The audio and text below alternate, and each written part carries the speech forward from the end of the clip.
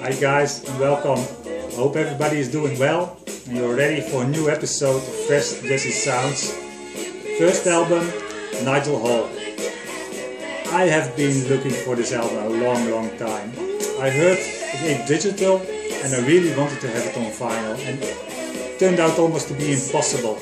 My local record shop, I could not get it, he could not order it.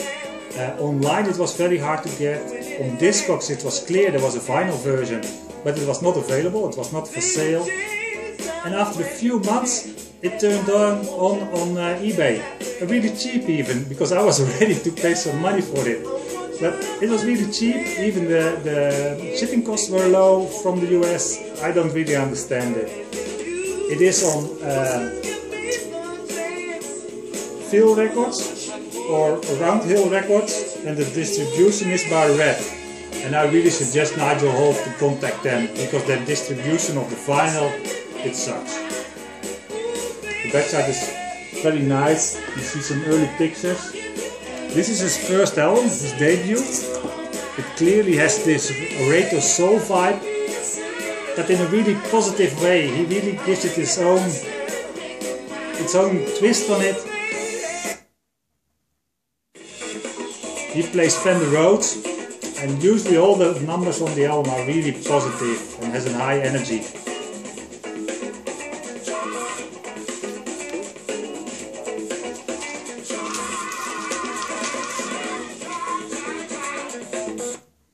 Next album is Air, which is a reissue.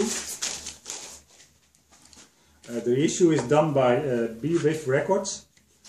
Let me first try to get out the album.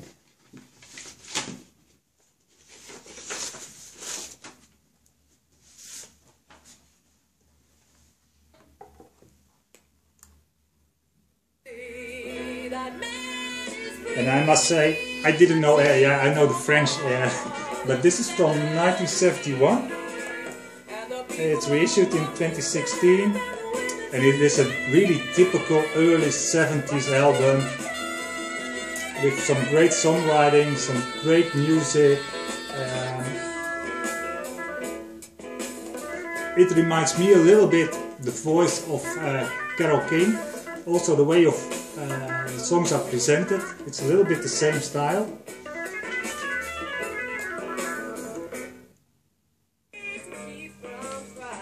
And it, the, the issue is done very well, so you have to cut out of the name, the inside. And this is really a very enjoyable album. Very glad that they reissued it, because otherwise I would not have known that it existed.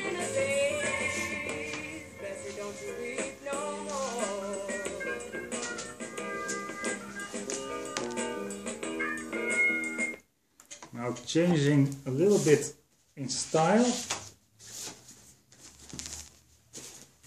The next album is by Googie and Tom Coppola. It's from the early 80s.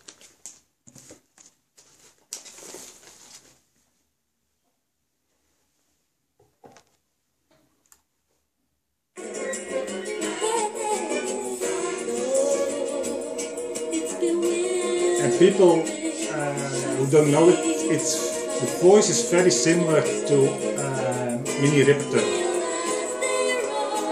So I had no idea who Googie and Tom Coppola are. Uh, people who are familiar will of course know why I'm now playing this one because it's exactly the same group as this one. They're the same. So this is Googie and this is Tom Coppola but they really completely changed their style.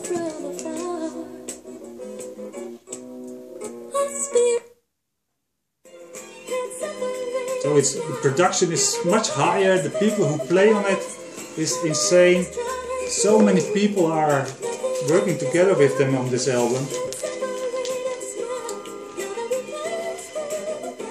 But I did not check the so he lost his hair just like me over time. But it's very fun that it's the same group. Uh, I got the reissue by the reissue is done by Favorite in France. Uh, it's very easy. I must say, if you're living in the US, it's easy to get an original.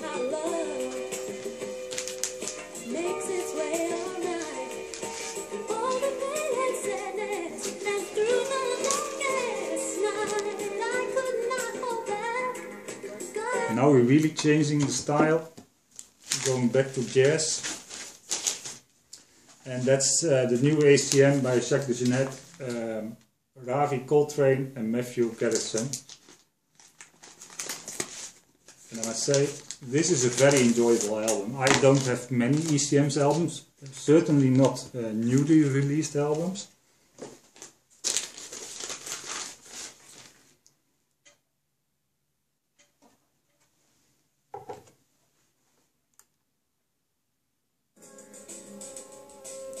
So it's clearly ECM. So that's the same style, what you're expecting, that's what you get.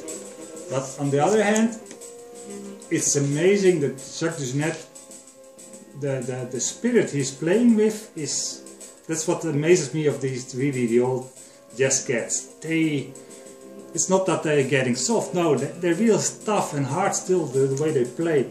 So Ravi Coltrane is of course the son, John Coltrane, Matthew Garrison. Um, the playing of Coltrane is it's very nice. It really fits uh, the music. The surprise for me is Matthew Garrison. Uh, he plays the bass, the electric bass, and this gives this music a really well. It gives it the foundation. Of course, Jack DeJohnette, drumming does that also, but but the bass is really strong on this one, and it really feeds the song and gives it a much more uh, present uh, sound and, and, much more contemporary.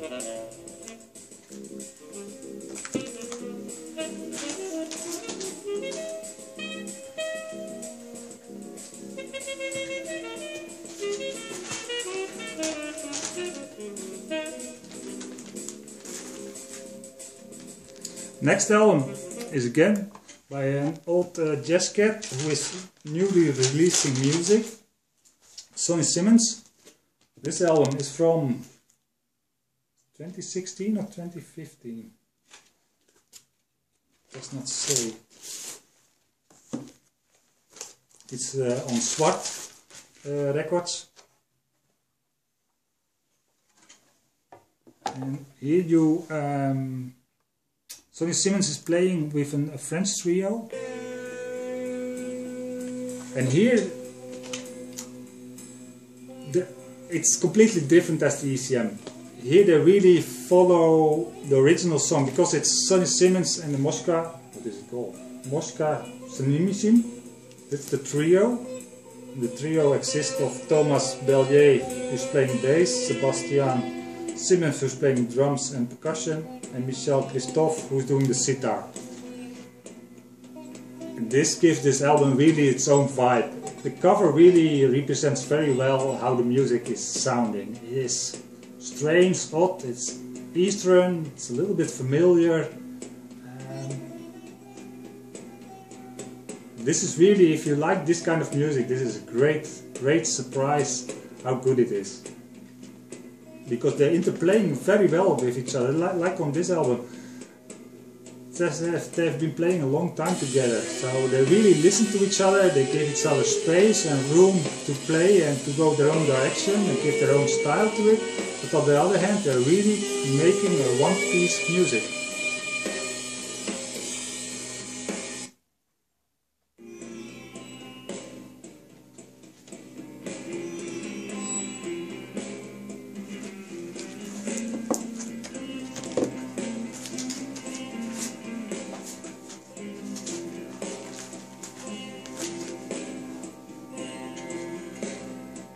And these trios and combination of different people who usually play different style reminded me of this album, the Philadelphia Experiment.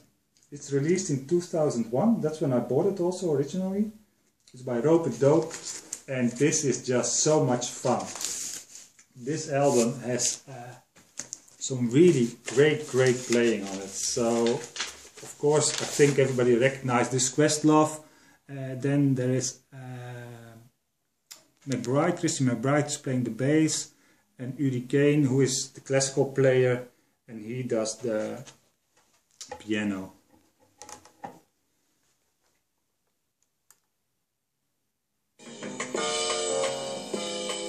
And the way they interplay with each other is great, and and partly it's really fitting that they call it the Philadelphia uh, experiment because it really has a little bit of that Philly sound to it. I don't know if there's much more. I don't know if it's easily available or not. I don't think they've reissued it.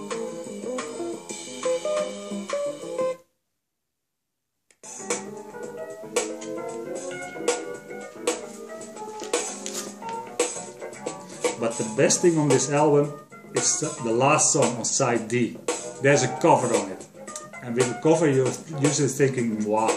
And especially this is a cover of Grover Washington. Uh, the two of us. So you think, what can they do with that? Well, this is the, I will say, for me, this is the best cover version of the two of us. It is just amazing. It's so much fun. And I, I don't know how they do it. Eh, well, I first all, knee will drop it.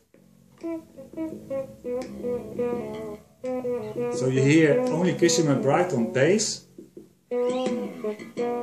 And I think they do some overdubbing or something. But this one you really have to turn up the volume and just let it pop because this is really I would never have guessed that from the two of us you could make this song.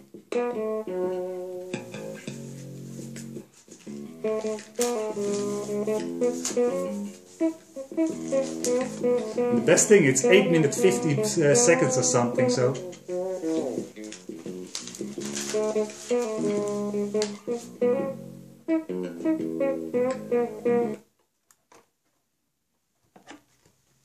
And the last album is also again a trio, lots of trios this time.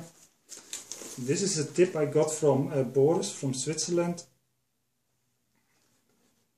It's the, it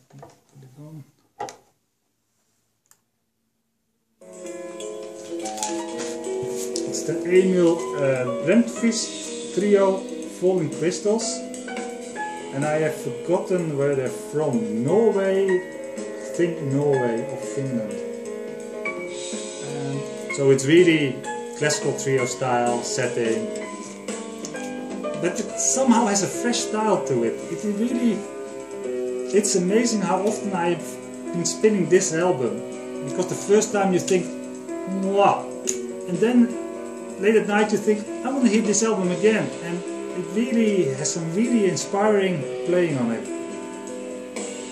It's recorded in Sweden, so probably they're Swedes. Sorry for all the mistakes I'm making.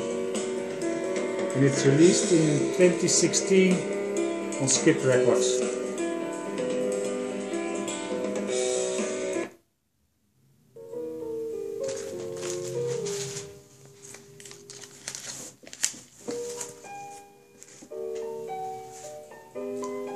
So, I hope you enjoyed the video See you next time. Goodbye.